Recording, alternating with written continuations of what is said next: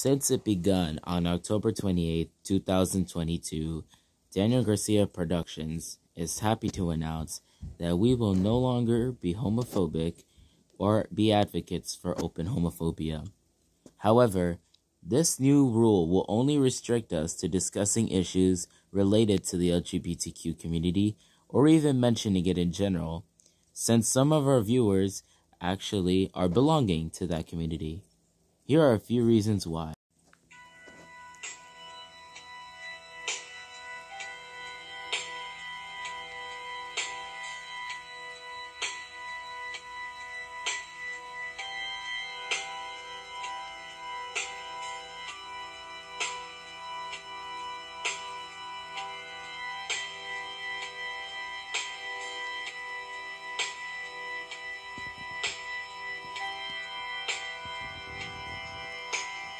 And that's just the good news.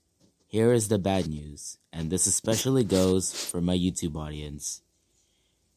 NLC Parodies is officially canceled. Here are a few reasons why.